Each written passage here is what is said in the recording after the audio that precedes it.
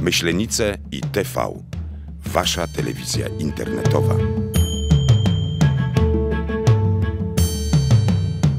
Nie masz pomysłu na prezent świąteczny lub inną dowolną okazję? Z pomocą przychodzi Ci Gminny Ośrodek Kultury w Lubniu.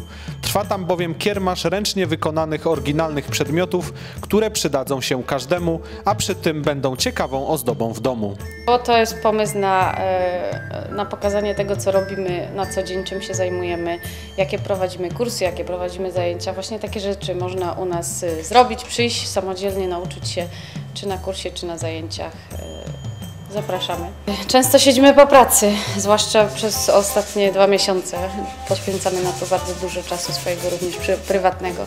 A ile schodzi no w zależności od tego, co to jest. Czy to jest anioł y, jakiś bardzo dokładny, bardzo precyzyjnie zrobiony, duży, mały, czy to jest, nie wiem, skrzyneczka, chustecznik więcej malowanego, czy więcej przyklejanego, to jednak od kilku do kilku, no czasem i kilka godzin musimy posiedzieć nad tym, żeby coś wreszcie miało taki efekt, jakiego oczekujemy. To jest wszystko ręcznie wykonane przez nas tutaj, przez pracowników i przez y, uczestników naszych zajęć.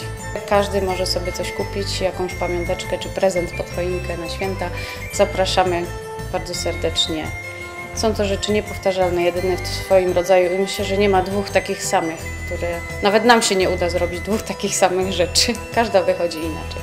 Pieniądze zebrane dzięki kiermaszowi GOG w Lubniu przeznaczy na zakup materiałów wykorzystywanych na licznych kursach i zajęciach prowadzonych w ośrodku.